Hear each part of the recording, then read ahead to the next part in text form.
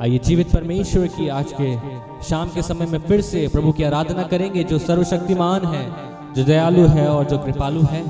Daily bread में आज के एक बार फिर हम आप सभी का स्वागत करते हैं।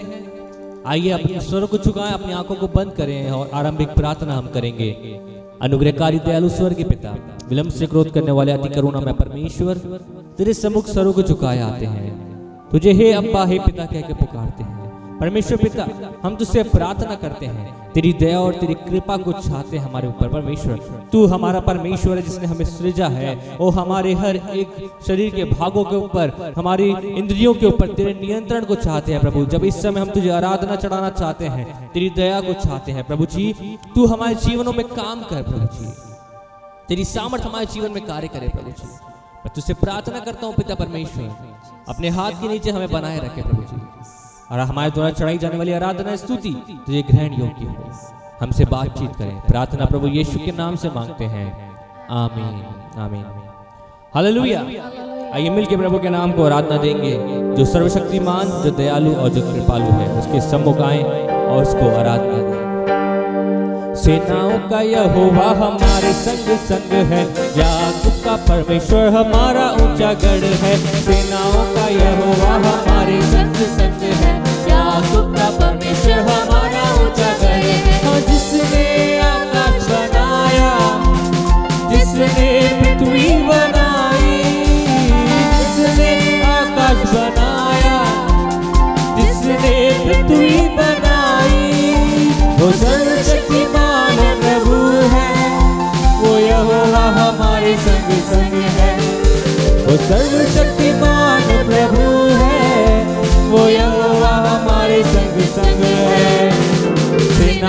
यहोवा हमारे संग संग है। याकूब का परमेश्वर हमारा ऊँचा गढ़ है। सेनाओं का यहोवा हमारे संग संग है। याकूब का परमेश्वर हमारा ऊँचा गढ़ है। समुद्र को जिसने दो भागा, जंगल में से मार को निकाला। समुद्र को जिसने दो भागा, जंगल में से मार को निकाला। जो वायदे को संग है जो वायदे को करता है पूरा, वो यहोवा हमारे संग संग है। सेनाओं का यहोवा हमारे संग संग है। याकूब का परमेश्वर हमारा गढ़ है। सेनाओं का यहोवा हमारे संग संग है। याकूब का परमेश्वर हमारा गढ़ है। लाजर को जिसने जिलाया जग कई को जिसने बचाया गाइए लाजर को जिसने जिलाया जग कई को जिसने बचाया। लिए सब संभव, वो यहोवा हमारे संग संग जिसके सब संभव हमारे संग संग का हमारे संग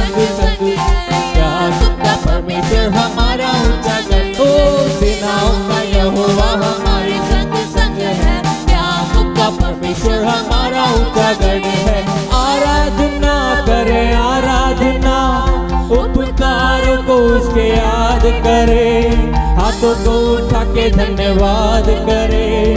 ऊँचे स्वरों में उसकी स्तुति करे। आराधना करे, आराधना। उपकारों को उसके याद करे। हाथों को उठा के धन्यवाद करे। ऊँचे स्वरों में उसकी स्तुति करे। Hallelujah hallelujah hallelujah hallelujah. गाइए हालेलुया।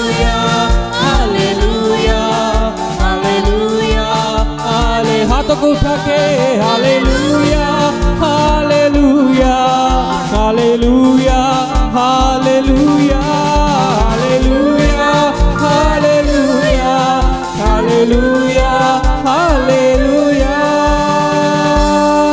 धन्यवाद हो यीशु Praise you, Master. वे राजाओं के राजा तेरी आराधना प्रभु यहोवा तू है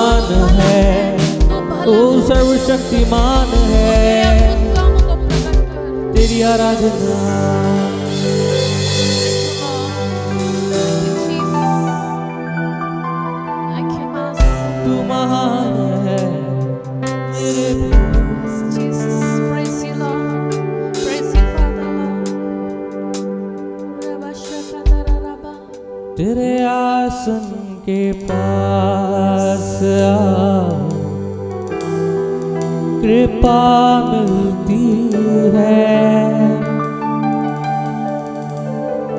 तेरे चरणों के पास Master. शांति मिलती है तेरे मंदिर में मैं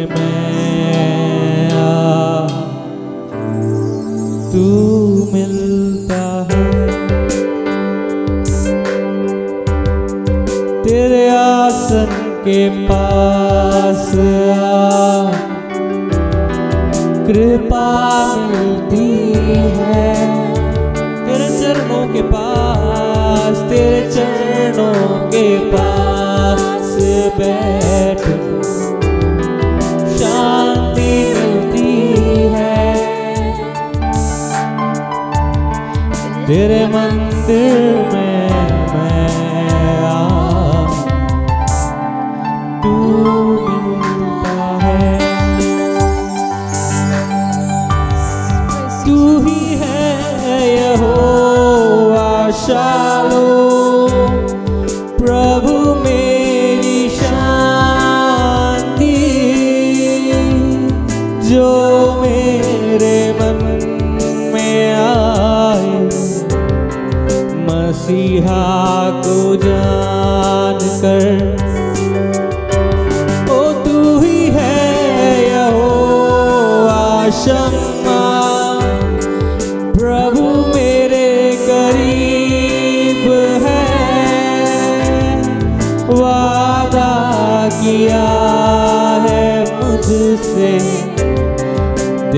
साथ रहूँ सदा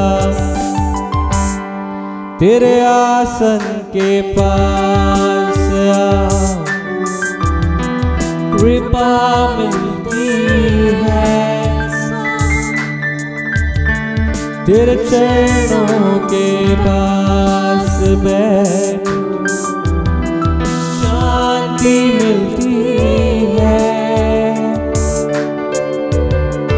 तेरे मंदिर में मैं तू मिलता है.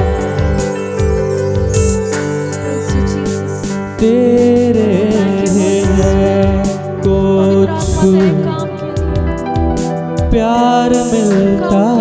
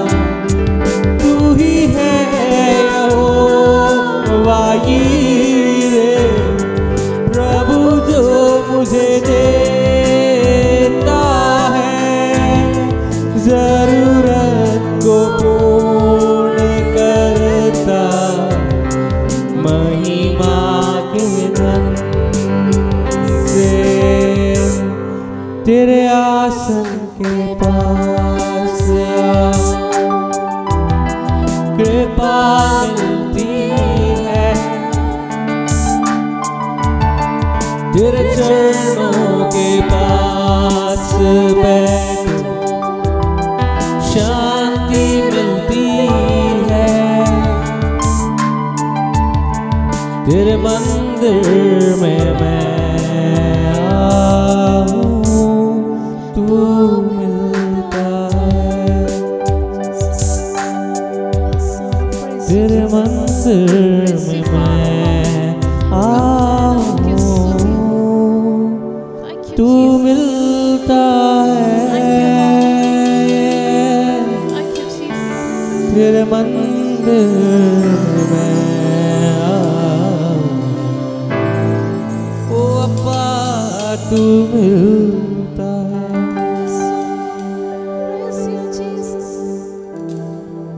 वचन को सुनने के लिए अपने आप को तैयार कर। ये प्रभु के दास के द्वारा उस जीवित कलाम को सुनिए, जो आज प्रभु ने हमारे लिए रखा है। प्रभु के वचन को प्रभु के दास के द्वारा सुनिए।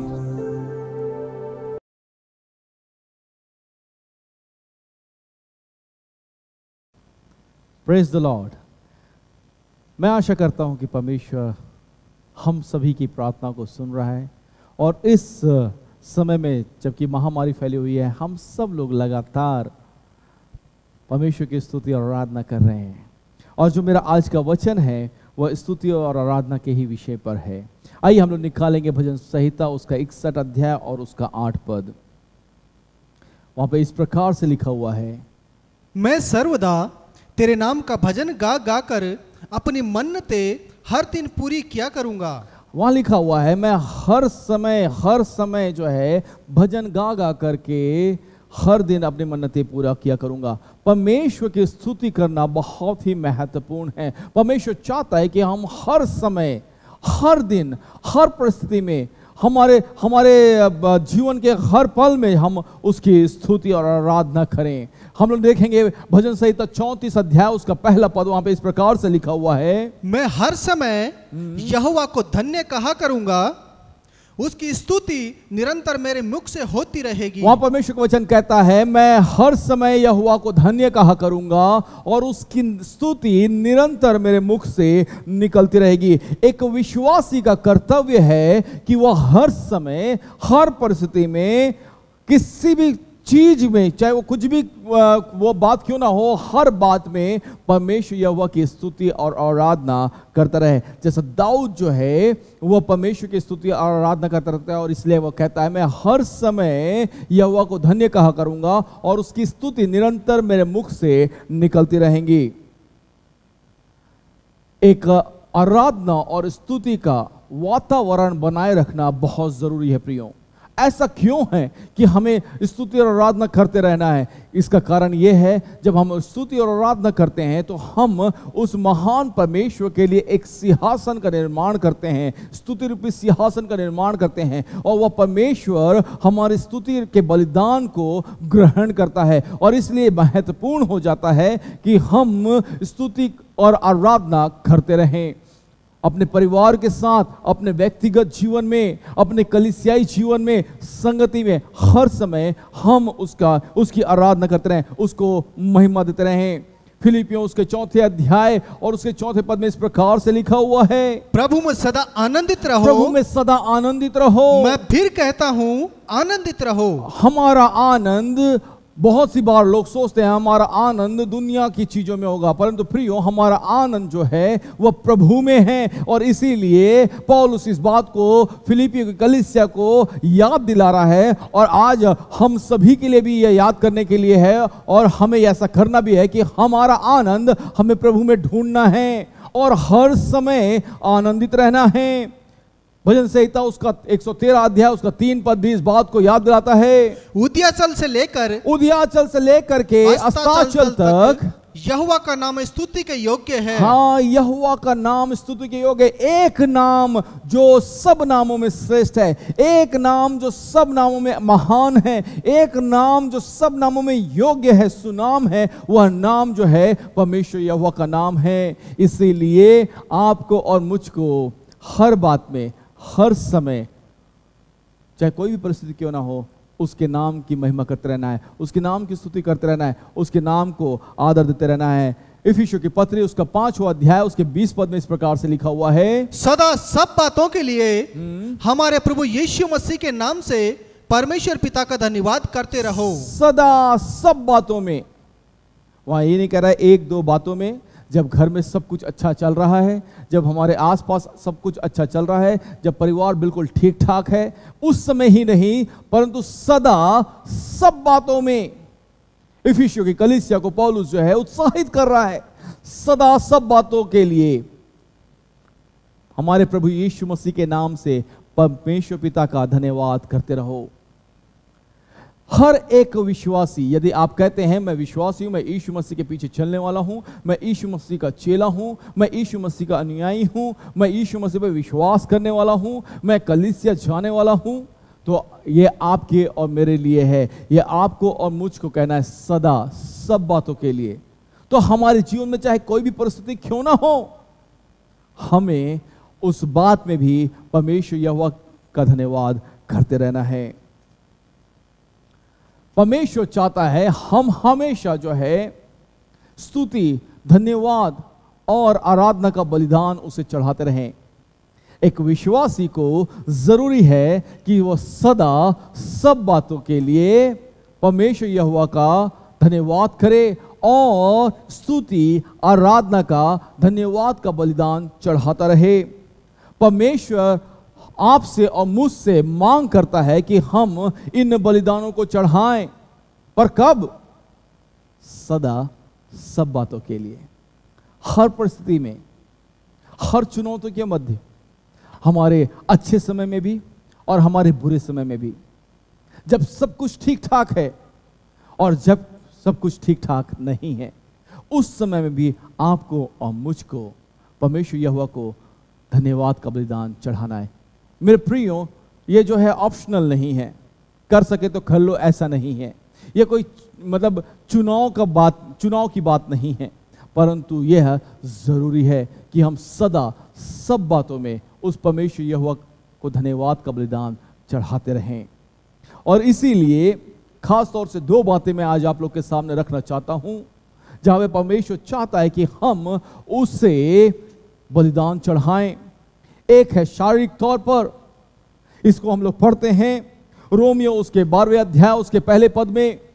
इसलिए हे भाइयों हाँ। मैं तुमसे परमेश्वर की दया स्मरण दिलाकर विनती करता हूँ कि अपने शरीरों को जीवित और पवित्र और परमेश्वर को भाव तो बलिदान करके चढ़ाओ। यहाँ पर पॉलुस जो है रोमियो की कलिसिया को उत्साहित कर रहा है और उनसे निवेदन कर रहा है। और वह चाहता है कि रोमी की कलिसिया इस बात को जान ले कि रोमियो के विश्वास इस बात को जान ले कि उन्हें अब एक बलिदान को चढ़ाना है अपनी देह को एक बलिदान के रूप में चढ़ाना है और वह बलिदान है जीवित पवित्र और भावता। परमेश्वर मांग करता है हमसे कि हम उसे जीवित पवित्र और, और परमेश्वर को भाव तो बलिदान करके चढ़ाओ। यस मेरे प्रियो परमेश्वर बलिदान की मांग कर रहा है और यह बलिदान जो है शारीरिक है और यह शारीरिक बलिदान में वो चाहता है जीवित पवित्र और भावता हुआ बलिदान हो। जो उससे पसंद आता है ऐसा बलिदान। पहला कुरंथियों उसके छठवें अध्याय और उसके उन्नीस पद में हम लोग को देखने को मिलता है। क्या तुम नहीं जानते? क्या तुम नहीं जानते? परमेश्वर का वचन कहता है क्या तुम नहीं जानते कि कि तुम्हारा देह हाँ, पवित्र आत्मा का मंदिर है? हाँ। और जो तुम में बसा हुआ है वो पवित्र आत्मा हमें बसा हुआ है। और तुम तुम्हें परमेश्वर की ओर से मिला है। और वह हमें परमेश्वर की ओर से पवित्र आत्मा हमें परमेश्वर की ओर से मिला हुआ है। और तुम अपने नहीं हो। हम अपने नहीं हैं हमें दाम दे करके मोल लिया गया है। पहला कुरंतियों उसका तीसरा अध्याय उसका सोलह पद भी कहता है क्या तुम नहीं जानते कि तुम्हारा शरीर परमेश्वर की आत्मा का मंदिर है? मेरे प्रियो, इसलिए ज़रूरी है कि हम इस देह के द्वारा शारीरिक रूप से बलिदान चढ़ा करके, इसका यह अर्थ नहीं है कि हम अपने को काट लें, कहीं जा करके अपने गले को काट लें और अपने आप का बलिदान कर दें। नहीं नहीं नहीं। परंतु वे बातें जो हमें शारीरिक रूप से परमेश्वर से दूर रखती हैं। वे बातें जो हमें जो है वह फाप जो हमें परमेश्वर से शारीरिक रूप से अलगाव में लेकर के जाती हैं ऐसी बातों को हमें बलिदान करके चढ़ाना है। और ये बहुत ही महत्वपूर्ण है। इब्रानी उसका तेरहवा अध्याय उसका पंद्रह पद इस प्रकार से कहता है इसलिए हम उसके द्वारा स्तुति रूपी बलिदान हाँ। अर्थात उन होठों का फल जो उसके नाम का अंगीकार करते हैं परमेश्वर के लिए सर्वदा चढ़ाए करें। यस yes, यहाँ पे लिखा हुआ बिल्कुल साफ़ तौर से इसीलिए हम लोग स्तुति रूपी बलिदान अर्थात हमारे होठों का फल हम होठों से उसे स्तुति देते हैं हम होठों से उसे धन्यवाद देते हैं हम होठों से उसका आदर करते हैं उसका मान करते हैं उसका सम्मान करते हैं तो इस बलिदान को हमें लगातार चढ़ाना है। इस बलिदान को हमें लगातार चढ़ाना है। और यह महत्वपूर्ण है प्रियो, कि हम जब अपने मुँह खोलें तो उससे स्तुति निकले, उससे धन्यवाद निकले, उससे महिमा की बातें निकले, उससे आदर की और सम्मान की बातें निकले। बहुत से लोग इसी होठ से लोगों को श्राप देते हैं, गंदी गालियाँ बकते हैं गंदी बातें करते हैं। इसीलिए यह ज़रूरी है कि हम शारीरिक रूप से बलिदान चढ़ाएँ और अपने होठों को पवित्र पाक और साफ़ करें। हम क्या बोलते हैं? क्या हम बुराई के फाप में फंस गए हैं? क्योंकि परमेश्वर का वचन बताता है, यह हुआ बुराई करने वालों से विमुख रहता है।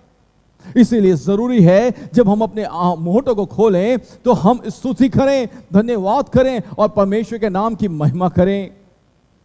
यदि हमारे पास में दूसरों के विषय में बात करने के लिए हो तो उनके लिए अच्छी बातें बोलें। क्योंकि इस ज़ुबान में, इस जीव में, हमारे मुँह में जीवन और मृत्यु दोनों बसते हैं। यदि हम लोगों की बुराई करते हैं, यदि हम लोगों के लिए बुरा बोलते हैं तो जान रखिए हमारे न्याय के दिन में न्याय होगा। और हमारी बातें जो हमने कही हैं दूसरों के विषय में, जो हम कार्य कर रहे हैं शारीरिक रूप से दूसरों के विषय में, वे सब के सब वहाँ पर न्याय के दिन में लेखे में गिने जाएँगे। इसी का ही इब्रानी तेरा अध्याय उसके सोलह पद में इस प्रकार से लिखा हुआ है। पर भलाई करना और उदारता न भूलो। क्योंकि हाँ। क्योंकि भलाई करना और उदारता न भूलो। क्योंकि परमेश्वर ऐसे बलिदानों से प्रसन्न होता है। ऐसे बलिदानों से प्रसन्न होता है। मेरे प्रियो हमारा जो लक्ष्य है वो लक्ष्य यह है कि परमेश्वर हमसे प्रसन्न हो। हमारे कार्यों से हमारी बातों से हमारे जीवन से। यदि आप कहते हैं, मैं विश्वासी हूँ, यदि आप कहते हैं, मैं परमेश्वर का अनुयायी हूँ, और यदि आप कहते हैं, मैं कलिसिया जाने वाला एक अगुआ हूँ या कलिसिया में पाया जाने वाला एक शिष्य हूँ, आप कोई भी क्यों ना हो, यदि आप बचाए हुए हैं, यदि आप नया जीवन पाए हुए हैं तो यह ज़रूरी हो जाता है कि आप परमेश्वर को यह बलिदान चढ़ाएँ। वह है भलाई करना और उदारता, क्योंकि परमेश्वर ऐसे बलिदान से प्रसन्न होता है। प्रियो हमारा लक्ष्य तो परमेश्वर को प्रसन्न करना है। हमारे इस जीवन का उद्देश्य है कि हम उसे प्रसन्न करें। और प्रसन्न करना, हम जानते हैं, विश्वास बिना उसे प्रसन्न करना अनहोना है।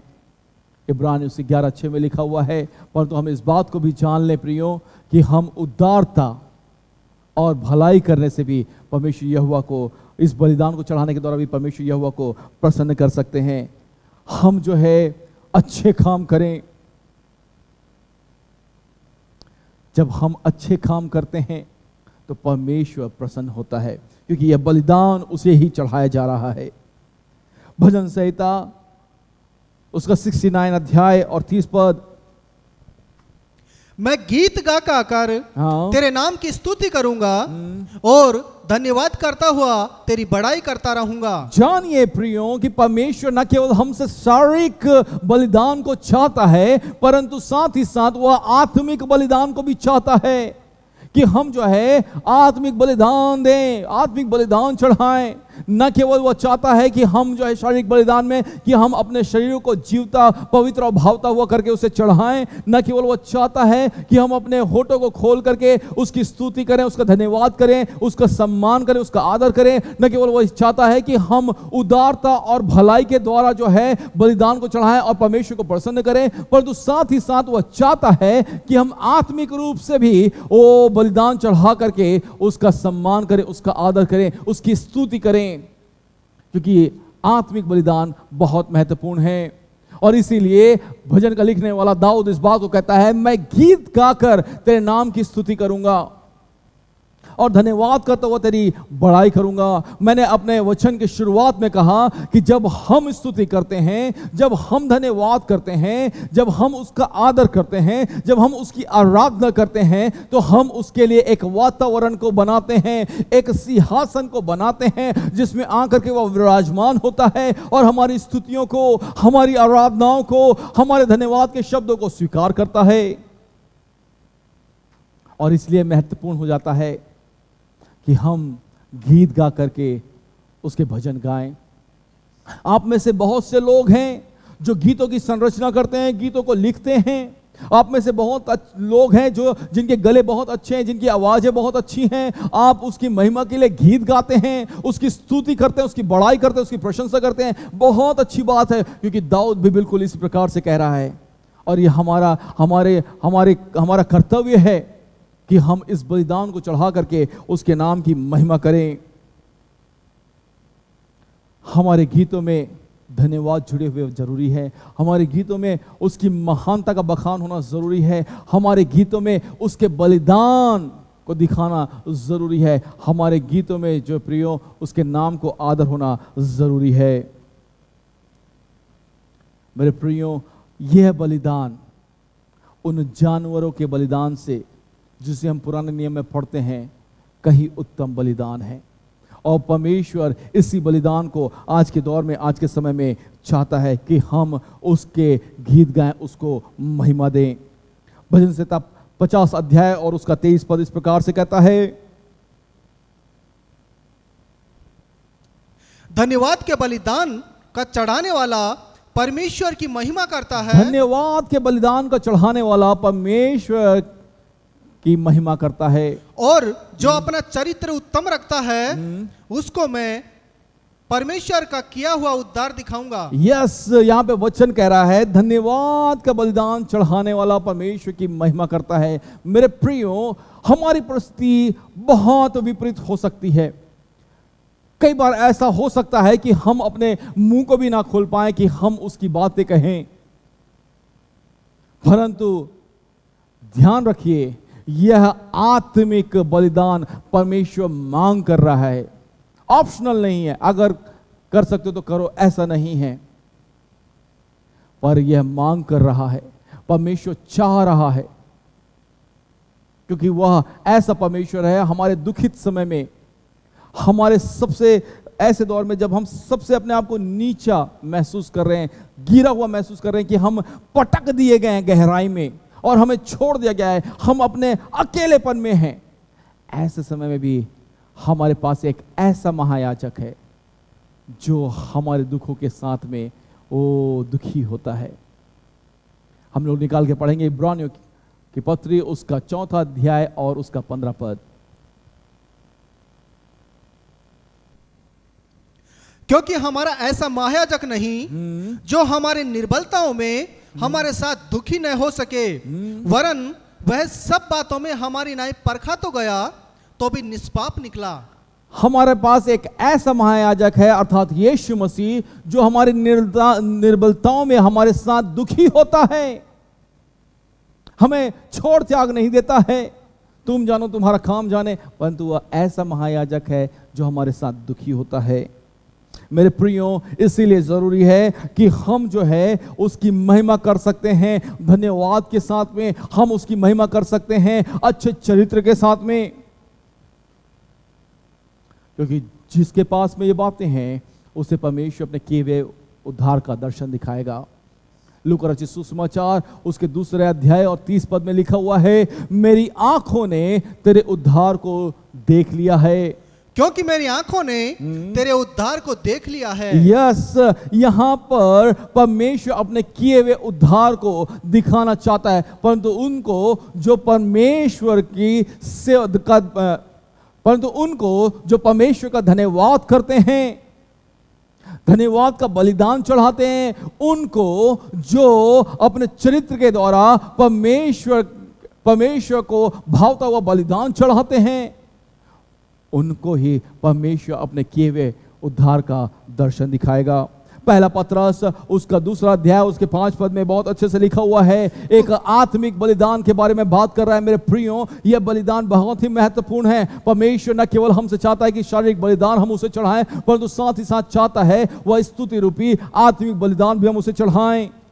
तुम भी आप जीवते पत्रों की नाई आत्मिक घर बनते जाते हो जिससे याजकों का पवित्र समाज बनकर ऐसे आत्मिक बलिदान चढ़ाओ जो यीशु मसीह के द्वारा परमेश्वर को ग्रहण योग्य हो। यस yes, तुम भी आप जीवते पत्थरों की नाई आत्मिक घर बनते जाते हो। इसीलिए याजकों का पवित्र समाज बनकर आत्मिक बलिदान चढ़ाओ। मेरे प्रियो आप और मैं याजकों का पवित्र समाज बन करके, घर बन करके, उस परमेश्वर के लिए जीवित घर बन जाते हैं।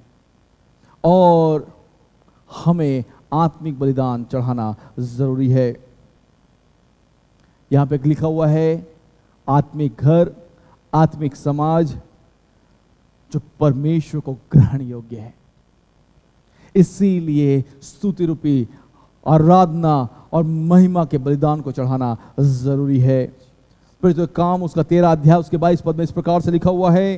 फिर उसे अलग करके दाऊद को उनका राजा बनाया जिसके विषय में उसने गवाही दी कि मुझे एक मनुष्य यीशु का पुत्र मेरे मन के अनुसार मिल गया है। जब आप और मैं उस आत्मिक बलिदान को चढ़ाना शुरू करते हैं तो परमेश्वर न केवल दाऊद के लिए, परंतु हमारे लिए भी इस गवाही को देता है कि मुझे एक मनुष्य मिल गया है, एक बेटा मिल गया है, एक बेटी मिल गई है। उस शहर में एक बेटा मिल गया है, इस शहर में एक बेटी मिल गई है, उस कॉलोनी में एक बेटा मिल गया, इस कॉलोनी में एक बेटी मिल गई है, जो मेरे मन के अनुसार है। Hallelujah hallelujah. आत्मिक बलिदान बहुत महत्वपूर्ण है। मेरे प्रियो, कई बार आसान होता है कि अपने हाथों को उठा लें, अपने मुँह को खोल लें। पर बहुत सी बार आत्मिक रूप से बलिदान चढ़ाना मुश्किल हो जाता है। इसीलिए ज़रूरी है कि आप और मैं आत्मिक रूप से भी उसे स्तुति के बलिदान चढ़ाएँ।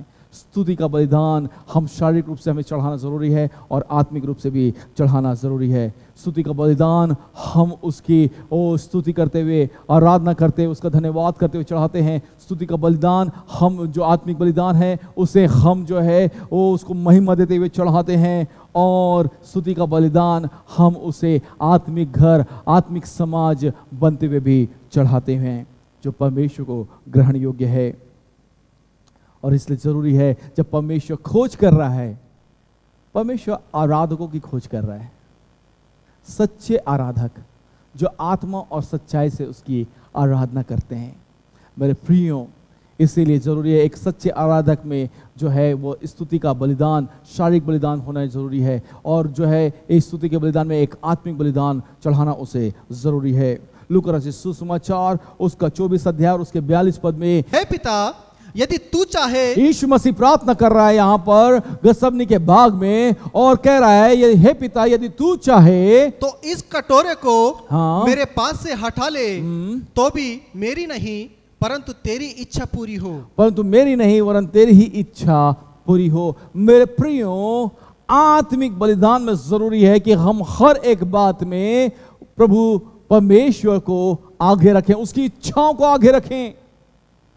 बहुत सी बार हमें ऐसा लगता है कि मेरी इच्छा पूरी हो जाती है। अगर ऐसा होता तो कितना अच्छा होता। जैसा मैं विचार कर रहा हूँ, वैसा होता तो कितना अच्छा था जैसा मैं योजना बना रहा हूँ, वैसा हो जाए तो कितना अच्छा होता। परंतु तो आप जान रखिए, आत्मिक बलिदान में आप और मैं हमेशा कहना चाहिए कि मेरी नहीं, तेरी इच्छा पूरी हो। मेरे प्रियो, हम लोग उदाहरण देखते हैं अब्राहम के विषय में। अब्राहम जब परमेश्वर उससे मांग करता है कि इजहाक का बलिदान चढ़ाए तो अब्राहम उसके लिए तैयार हो जाता है।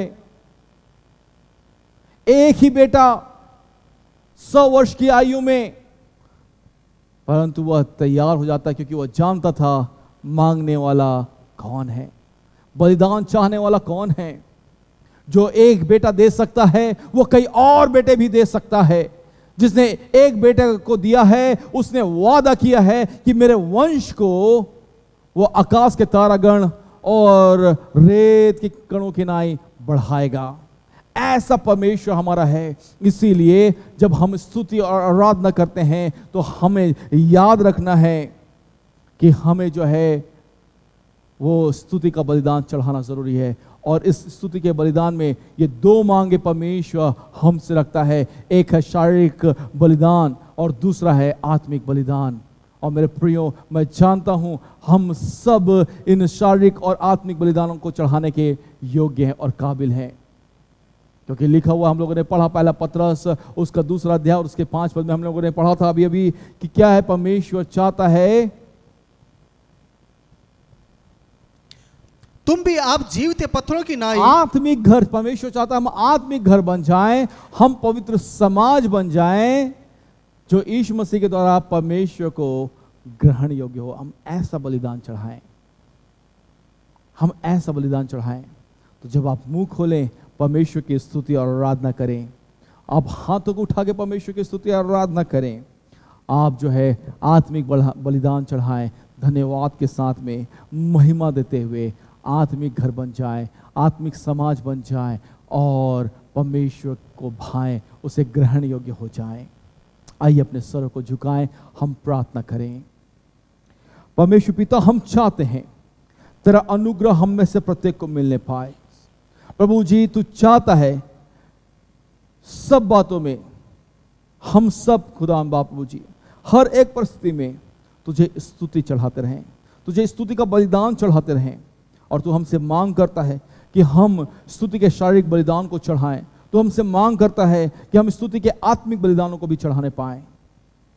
सब बातों में, सब प्रकार से प्रभु जी, हर एक परिस्थिति में खुदा बाप, क्योंकि तू ऐसा परमेश्वर है, जब हम अपने अच्छे समय में होते हैं, तब भी तू परमेश्वर है, और जब हम अपने बुरे समय में होते हैं, तब भी तू परमेश्वर है। तू ना बदलने वाला परमेश्वर है। तो युगान युग एक से रहने वाला परमेश्वर, प्रभु जी, और हम इस बात के तरह धन्यवाद करते हैं। हम चाहते पिता परमेश्वर, न केवल हम अपने शरीर को खुदा बाप जीवता और पवित्र अभावता हुआ करके तुझे चढ़ाएँ, न केवल हम अपने पवित्र हाथों को उठा करके तेरी स्तुति करें, न केवल प्रभु जी, हम अपने होठों से, ओ, तेरा धन्यवाद, तेरी महिमा और खुदा बाप पिता परमेश्वर, तेरे आदर का बखान करें, तेरे महानता का बखान करें, पर हम साथ ही साथ चाहते पिता परमेश्वर हम पिता परमेश्वर आत्मिक रूप से, ओ खुदा बाप, पवित्रता में परिपूर्ण होकर के तेरी स्तुति और आराधना कर सकें। तुझे महिमा दे सके पिता परमेश्वर प्रभु जी। खुदा बाप, आत्मिक रूप से भी हम बलिदान चढ़ाने पाएँ और हम पिता परमेश्वर, ओ पवित्र घर बन जाएँ, याजकों का समाज बन जाएँ और पिता परमेश्वर वो तुझे एक बलिदान चढ़ाने पाएँ। सहायता कर सहायता कर प्रभु जी। हम चाहते हैं कि तू हमारे जीवनों से प्रसन्न हो, प्रभु जी। जब हम दूसरों की सहायता करें तो लोग हमारे जीवनों से प्रसन्न हो, प्रभु जी। हम सारा आदर, गौरव और महिमा तुझे देते हैं। इस समय में पिता परमेश्वर, आंटी प्रेमलता के लिए प्रार्थना करते हैं। खुदाम बाप, अपने चंगाई भरे हाथ को बढ़ाइए, बहन को छू, छूइए खुदाम बाप, प्रभु जी, और पूर्ण रूप से खुदाम बाप चंगाई दीजिए। यीशु नासरी के नाम से हम कहते हैं उनकी पूर्ण चंगाई होने पाए। और भी हमारे कलिसिया में जो लोग बीमार हैं, हम सभी के लिए प्रार्थना करते हैं, पिता परमेश्वर, वे आपके स्पर्श को प्राप्त करने पाए। अपने चंगाई भरे हाथ को बढ़ाइए खुदान बाप, क्योंकि तेरा वचन कहता है, तेरे कोड़े खाए जाने के द्वारा हमने चंगाई को प्राप्त की है। यीशु के नाम से उस चंगाई को बोलते हैं। प्रभु जी, जो बिज़नेस करने वाले हैं, उनके बिज़नेस पर आशीष का हाथ रख। खुदान बाप जो नौकरियाँ करने वाले उनकी नौकरियों पर अपने आशीष का हाथ रख। इस महामारी के समय में हर एक लोग खुदाम बाप प्रभु जी, अपनी सुरक्षा दे। खुदाम बाप प्रभु जी, सद्बुद्धि दे पिता परमेश्वर, कि लोग खुदाम बाप अपने बचाव के लिए भी कार्य करने पाए। सहायता कर। सभी को आशीषित करते हैं। यीशु के नाम से इस विनती और प्रार्थना को मांगते हैं। आमीन। अब परमेश्वर पिता का प्रेम प्रभु यीशु मसीह का अनुग्रह, पवित्र आत्मा की शांति और सहभागता हमें से प्रत्येक के साथ दोबारा मिलने तक बनी रहे और सभी कहें, आमीन आमीन। जय मसीह की। आप हमारे इस चैनल को लाइक कर सकते हैं, सब्सक्राइब कर सकते हैं और दूसरों के साथ भी बांटिए ताकि वे भी लाइक और सब्सक्राइब कर सके। आप बेल आइकन को दबा सकते हैं और उससे आप हमें सब्सक्राइब कर सकते हैं।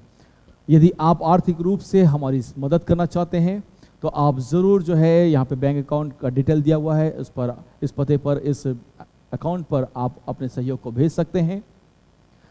यदि आप और अधिक जानकारी को प्राप्त करना चाहते हैं तो हमारा वेबसाइट यहाँ दिया गया है। आप इस वेबसाइट पर जा करके हमारे बारे में और अधिक जानकारी को प्राप्त कर सकते हैं। यदि आप चाहते हैं कि आप हमसे संपर्क करें, कोई प्रार्थना निवेदन है तो आप ज़रूर जो है हमारे प्रेयर टावर के इस नंबर पर संपर्क करें। हम आप लोगों के लिए प्रार्थना करेंगे और आशा और विश्वास करते हैं कि परमेश्वर अपनी चंगाई, अपने सामर्थ्य काम को आपके जीवन में दिखाएगा। प्रभु, आप सबको आशीष दे।